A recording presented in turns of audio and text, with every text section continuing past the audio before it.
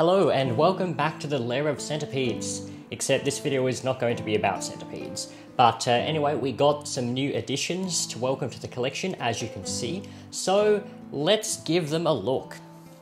Now what we have here is a combination of uh, some baby funnel webs and another cool mygalomorph spider called Paraembolides boycei. Now the funnel webs, uh, they're babies, and they're of an undescribed tree-dwelling funnel web from, uh, I believe, the central coast of Queensland, so one of the most northerly distributed funnel webs uh, in Australia. Anyway, enough chit-chat, let's get them into their boxes. Now these enclosures are prepared for the funnel webs might, if anything, be a bit big, because judging by the glimpses I've seen of them in their packing, they are very small. Let's get the first little guy out. I have to be very cautious because Especially at the... Oh, it really is tiny. Look at that. Just forgot, I forgot just how small funnel webs start out as. Alright, take a look at that. A very... Oh, whoopsies. A very, very tiny funnel web. Hopefully it's going to grow fast enough. Funnel webs seem to be reasonably fast growers, uh, provided they're fed often enough. So Hopefully that'll be the case for this species as well. I know it is definitely the case for Hadronyche infensa. Come on, where are you at? I really don't want to miss it. I see you. There you are.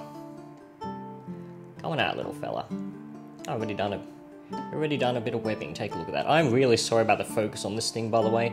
But like I said, these baby funnel webs are really small. Oh, hi.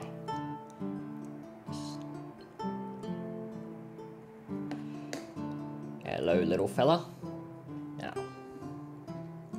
just into the box. Come on. Come on. That was easy. And last of the funnel web babies. Now I'm just gonna find it. Oh, oh, oh, oh, never mind. I'm blind. It's literally sitting right on top. I'm gonna say, when it comes to spiders, where to go? I am just paranoid about crushing it with my fingers. Oh, look at that. I'm handling a funnel web. Party time's over, little fella. Come on, get in the box. Right, got it on the paintbrush. Should be easy now. There we go. Guy decided he wanted to have a bit of an adventure, but uh, we got there in the end. Okay, now on to the rather more impressive exhibit.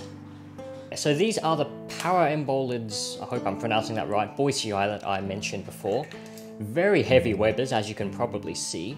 They've got some pretty cool patterning on them as well, judging by the photos. Let's see if we can get it into light. Oh yeah, look at that. Look at the nice stripes on the abdomen and the banding on the legs. And this is a juvenile. It's not a spiderling, but it is a juvenile. And, uh, well, I'll just... Oh, yeah, spider silk is sticky. Sometimes to the point of being annoying. Oh, a bit camera shy, are you? That's fine. How about you? You sitting right at the top there. Hi.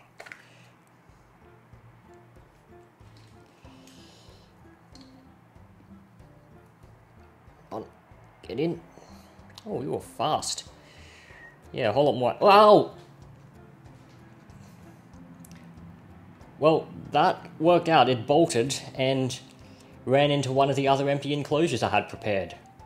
Lucky, lucky me. Well, at least now I know that they can be bloody fast, so I'm more cautious now. Well, we got our last one, and this is an adult, I believe. Um, so yeah. Now, as I learned the hard way, these guys, while nowhere near as venomous, are a whole lot more athletically capable than the funnel webs. Oh, take a look at those patterns. Tell me that is not a cool looking spider. Let's get the light on a bit more.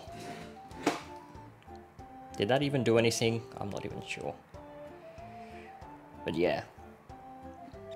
Awesome looking spider. And this is a temporary enclosure. I will get it a bigger one because I, I want to see a web a bit. But um, I'll, I'll, I'll be honest, these guys took me by surprise. They arrived a day earlier than I expected. Now, don't bolt on me. I said don't bolt. Don't bolt, please, please, please. Just stay in there.